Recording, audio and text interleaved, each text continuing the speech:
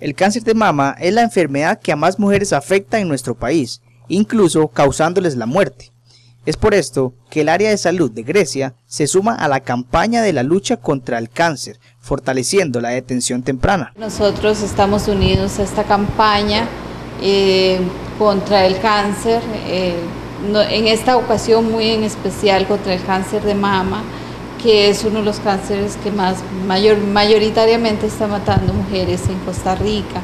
No obstante, este, si deseamos, eh, usted dice que tal vez que se, que se reduzcan el número.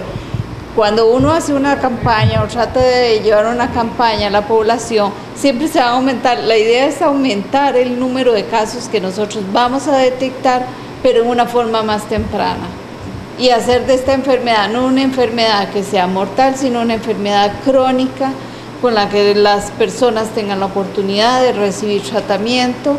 Como parte de las actividades en octubre, que es conocido como el mes contra el cáncer de mama, está la tradicional marcha que será el próximo miércoles 19 de octubre y saldrá desde la casa parroquial en Grecia. Sí, la marcha la vamos a realizar el día 19 de octubre, miércoles 19 de octubre, Vamos a dar inicio en el salón parroquial que la Iglesia Católica pues muy este, amablemente nos ha facilitado.